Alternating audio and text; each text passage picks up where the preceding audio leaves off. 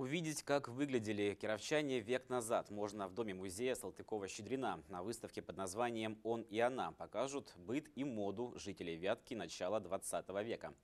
На витринах преимущественно предметы женского туалета, платья, дамское белье, аксессуары, туалетные принадлежности. В эту эпоху женщины становились более свободными в получении профессиональных навыков и выборе жизненного пути, говорят организаторы выставки.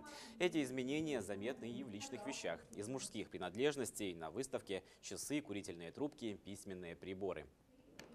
Мужчина большей частью отдавал себя делу, он также умел развлекаться. А В период конца 19-го, начала 20 века в Вятке появляется ипподром, яхт-клуб, создается общество охотников. И глядя на фотографии, которые рассказывают об этом, мы видим, что членами этих мероприятий являются не только мужчины, а также появляются там молодые женщины, потому что образ жизни уже меняется.